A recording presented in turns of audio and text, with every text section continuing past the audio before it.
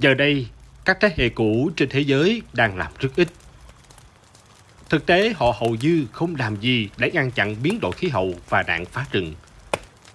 Họ thờ ơ với những vấn đề nghiêm trọng mà nạn phá rừng đang gây ra và sẽ xảy ra trong tương lai. Do đó, họ làm rất ít để tạm hoãn điều đó. 16 tỷ cây xanh bị phá hủy mỗi năm bởi những công ty tham lam chỉ quan tâm đến lợi nhuận ngày nay. Họ chắc chắn không quan tâm đến tương lai của thế hệ của bạn. Nếu tất cả các bạn trông chờ vào ông bà, cha mẹ đứng lên và hành động, thì chắc chắn đã là quá buồn. Belacidi đã tạo ra dự án Chiến binh sinh thái Million Trees and Misses nhằm huy động hàng chục triệu thanh thiếu niên trên khắp thế giới cùng hành động chống lại biến đổi khí hậu và nạn phá rừng trước khi quá buồn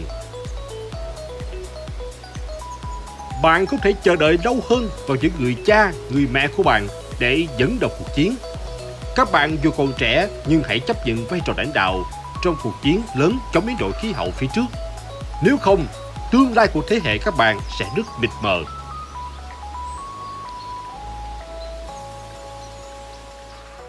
Nhưng sẽ không hay nếu chị đối. Vâng, tôi sẽ tham gia cuộc chiến. Các bạn phải chuyển lời nói của mình thành hành động và tham gia cuộc chiến của Pedacity để cứu các khu rừng trên thế giới. Để làm điều này, các bạn cần cam kết trở thành chiến binh sinh thái Million Trees and Misses bằng cách hoàn thành các thử thách Million Trees and Misses. Điều này nghe có vẻ rất khó, nhưng tin tôi đi, không phải như vậy đâu. Ví dụ, thử thách đầu tiên trên con đường trở thành một chiến binh sinh thái là yêu cầu gia đình bạn trồng một cây duy nhất trong năm nay. Nó khó đến mức nào? Nếu bạn có vườn thì trồng ở đó. Các bạn ở căn hộ thì trồng ngoài ban công hay công viên gần nhà. Trồng một cây duy nhất nghe không giống như một thách thức.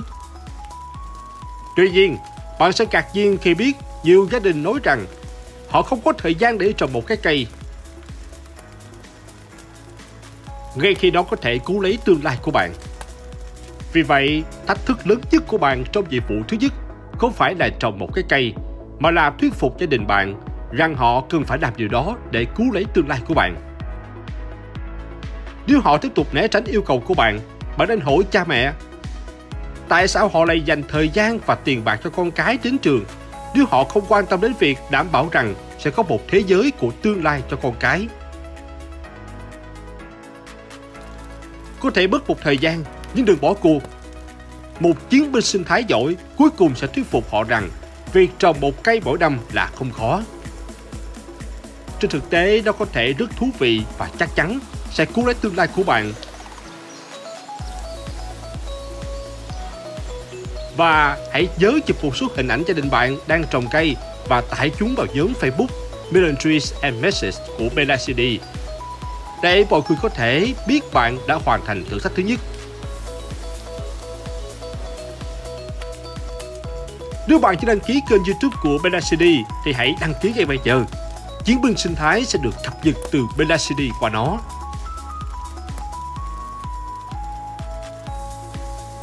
Và cùng chia sẻ video này, nói chuyện với bạn bè về sự tham gia của gia đình họ. Chúng ta cần 10 triệu gia đình để trồng cây trong năm nay. Cây có vẻ nhiều, nhưng đó chỉ ít hơn 1% số gia đình trên thế giới.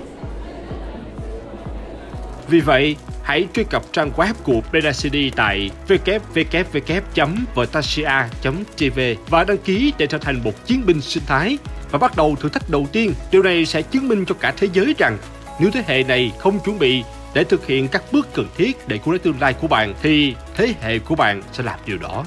Cùng vui trong cái đau.